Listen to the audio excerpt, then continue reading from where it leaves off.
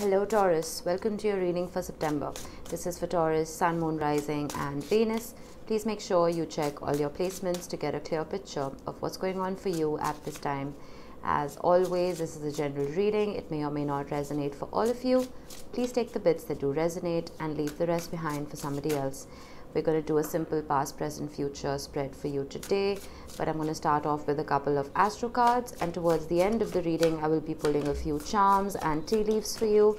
So make sure you stick around for that. Now, we have fire and we have square. Some of you may be on the cusp with Aries, or you may have fire heavily in your chart. Aries, Leo, Sagittarius doesn't have to be.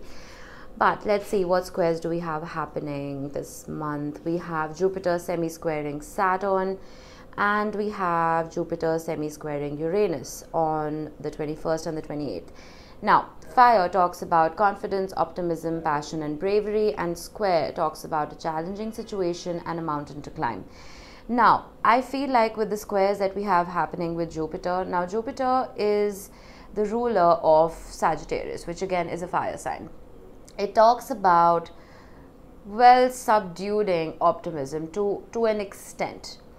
Uh, and especially the the squares that we have with Saturn and Uranus. It talks about trying to break the mold and do your own thing and be rebellious and be optimistic and confident and brave and follow your dreams. And then someone suddenly putting a set of rules in front of you that well you cannot do that that is what I'm getting here. And I feel like you may have been fired up to do something for yourself, whether it is follow a career path or get into a relationship or just be authentic to yourself. And then someone tells you, well, that's not appropriate.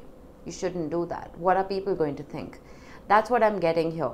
But let's see, let's pull your tarot to see what this could be regarding. Um, do we have anything happening in Taurus right now?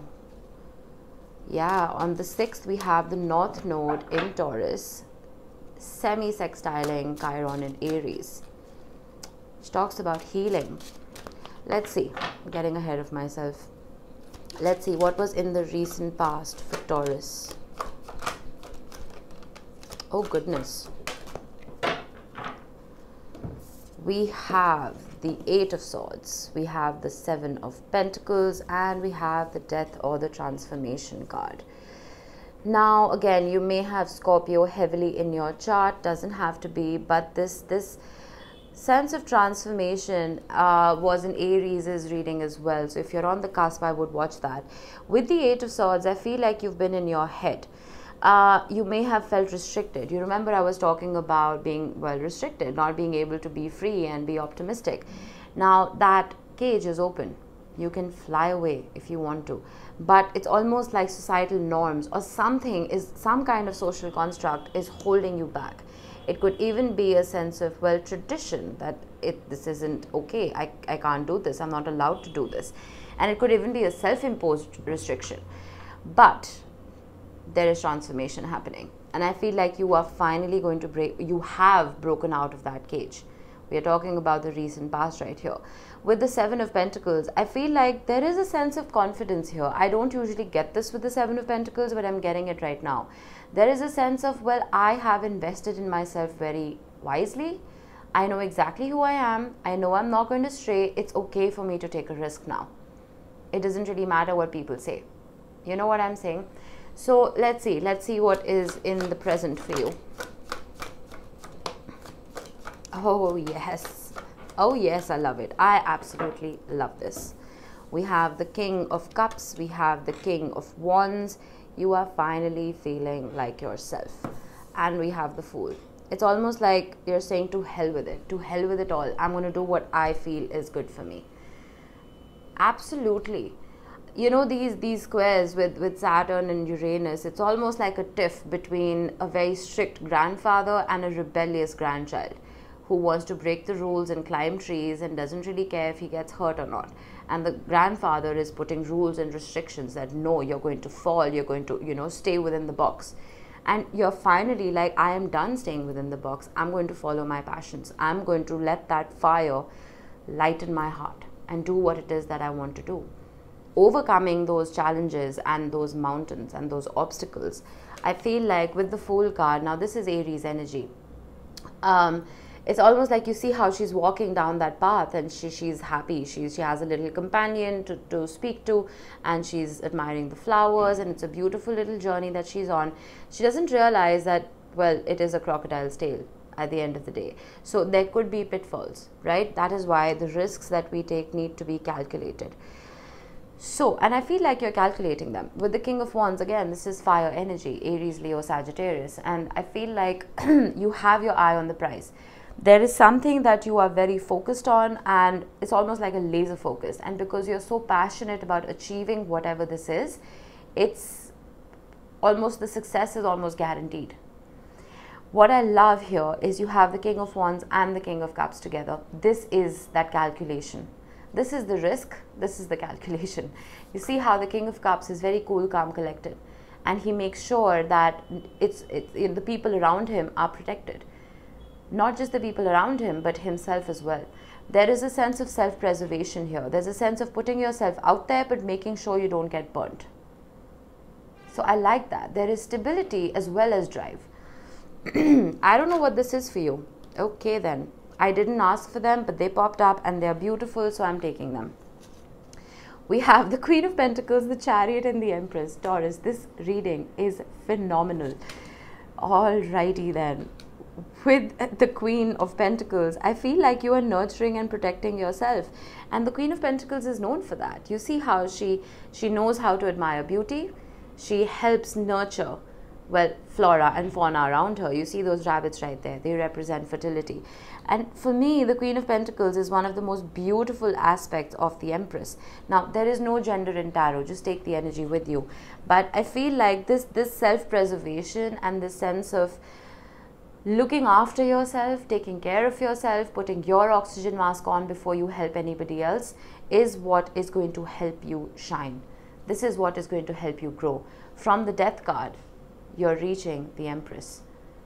I feel that it's almost like everything you touch is going to turn to gold because you're finally being able to be authentic to yourself.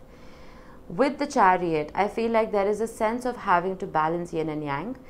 And what I mean by that is balancing the energy of receiving and giving. I feel like sometimes if we sit in the King of Wands energy, if we sit in the energy of yang, of just giving, doing, taking action, it can deplete us, right?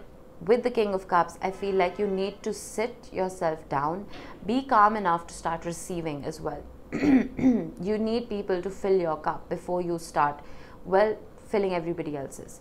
That is what is going to make you achieve that balance. That is what is going to help you achieve that sense of wholesomeness almost. That's what I'm getting here wholesomeness and integration of the two. Now, what again, one more thing that I absolutely absolutely love about this is the Empress is Venusian energy. and Venus rules you as well as Libra. Now, Libra could be important. You could be dealing with a Libra. You could have it heavily in your chart. But you see how much authenticity there is here. I almost feel like the people you were surrounding yourself with, they may have questioned you. They may have questioned who you are and your capabilities. And that in turn made you question yourself. No more i feel. I feel like that's in the past. I feel like you are finally saying that well i have invested in myself wisely. I know exactly who i am. To hell with old traditions. To hell with the box. I'm creating my own. And through the creation of these new traditions it's it's adding that fuel and giving you that boost and that momentum to achieve your goals and your dreams. Absolutely stunning very short reading but then well what's the point of extending it it's been so beautiful um, let's get you a couple of tea leaves before we pull some charms. Egg, success assured with good plans and hard work. Come on, man. Seven of Pentacles. That is Seven of Pentacles energy.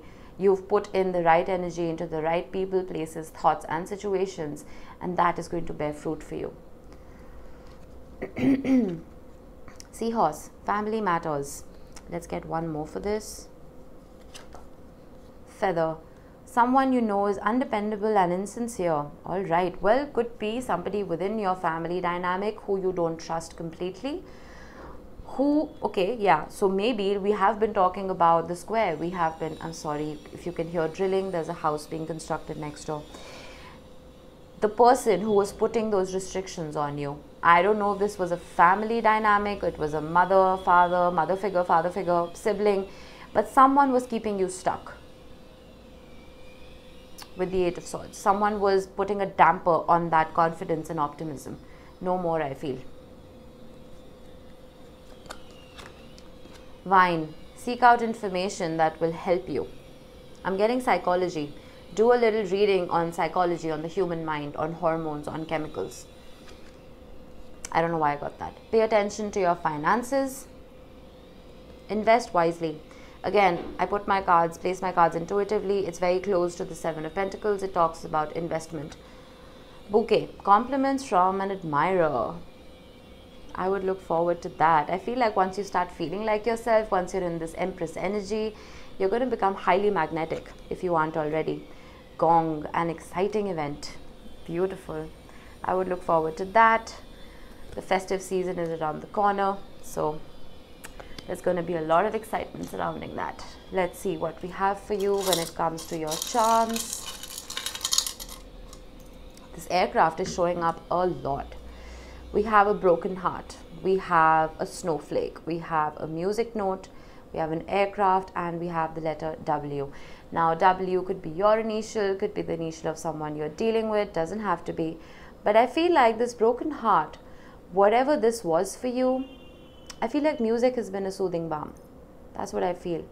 And some of you may actually be singers or musicians, and I feel like that is what has helped you heal and transform and grow when it comes to the snowflake, I feel like winter time is going to be very transformational. It's going to be very healing. That is when you may even be traveling. It is possible with the aircraft and the snowflake, you could be traveling to a colder country.